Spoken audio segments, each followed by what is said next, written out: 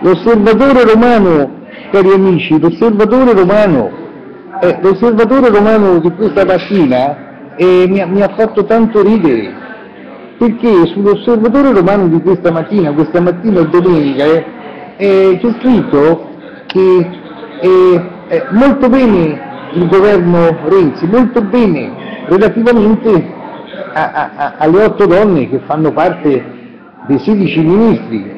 Beh, mi ha fatto tanto ridere eh, questo articolo apparso sull'odierno osservatore romano, sull'odierno osservatore romano. Molto bene il governo Renzi, ci sono otto donne del governo, otto donne su 16 ministri, molto bene, molto bene, molto bene.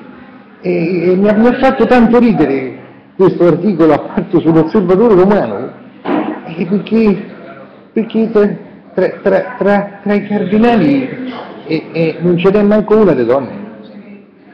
E, e per cui mi ha fatto tanto ridere. Io non lo so se, se questo articolo dell'osservatore romano fa, fa ridere pure voi. Guardate che io queste cose le dico con tanto rispetto eh, nei confronti della Chiesa, capito? Con tanto rispetto. Poi era meglio che l'osservatore romano stesse zitto, eh. Doveva stare zitto l'osservatore romano. E magari sarebbe bene che l'osservatore romano ogni, ta- ogni tanto desse un'occhiata ai video che, che appaiono sulla pubblica web tv di Serafino Massoni.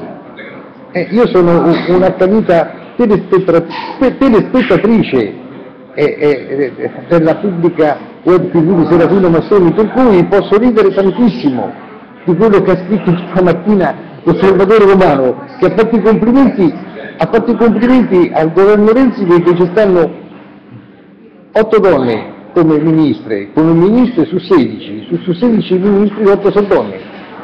Ma era meglio che stava zitto l'osservatore romano, perché, perché tra i cardinali non ce n'è manco uno di donna. Vabbè dai, vi saluto, eh, vi saluto.